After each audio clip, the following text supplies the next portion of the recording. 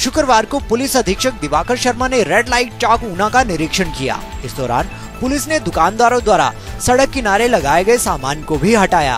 वहीं दुकानदारों को भविष्य में भी सड़क किनारे सामान नहीं लगाने की हिदायत दी गई। पुलिस अधीक्षक दिवाकर शर्मा ने कहा कि जनवरी माह से पुलिस प्रशासन द्वारा ट्रैफ़िक को सुचारू बनाने का प्रयास किया जा रहा है। अगले चरण में येलो लाइन के अंदर गाड़ियाँ खड़ी हों, इसके लिए प्रयास किए जाएँगे।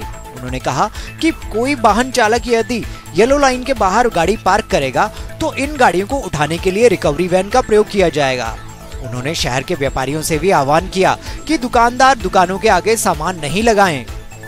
जनवरी माह से हम ऊना शहर में जो ट्रैफ़िक व्यवस्था है, उसको सुचारू बनाने का प्रयास कर रहे हैं तो इसी इसी के अगले चरण में अब हमने ये निर्णय लिया है कि जो भी हमारी येलो लाइंस हैं हम ये सुनिश्चित करेंगे कि येलो लाइंस के अंदर जो गाड़ियाँ हैं वो खड़ी हों। और नंबर दो आ, हमारे पास एक रिकवरी वैन भी है। इन केस अगर जो गाड़ियाँ हैं वो येलो लाइन के बाहर खड़ी होंगी तो रिकवरी वैन अपना काम करेगी।